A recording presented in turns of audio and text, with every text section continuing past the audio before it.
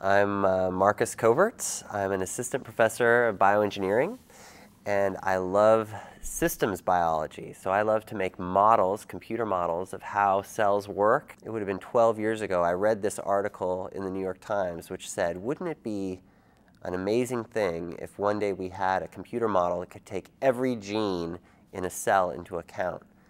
Um, and I think about that quote pretty much every single day of my life. Uh, so, you know, you read the newspapers, it seems like almost every week you read the paper and you'll read an article like cancer gene discovered or obesity gene discovered. And you might wonder why we haven't cured all those things already, right? So, um, the reason we haven't is because cancer is not a one gene problem. Okay, it's thousands of things coming together, genes, environmental factors, all of these different things. But the hard part about trying to figure something like that out is just that no one person can wrap their mind around all of those things at once.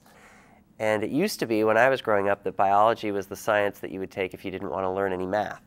But now that's not the case anymore. And so, really, what I do is I make these models, like I said, of pathways and networks uh, as opposed to just single genes, just looking at indirect effects, trying to, to find all of the potential factors that might lead to a behavior and then make a model of that. And then I like to go take those models and use them to help me uh, perform experiments and learn new things. So I've found that using models to guide me has helped me to make discoveries faster than I would without one. So it, for me, bioengineering is just a chance to really have fun and be excited about doing things that could make a difference.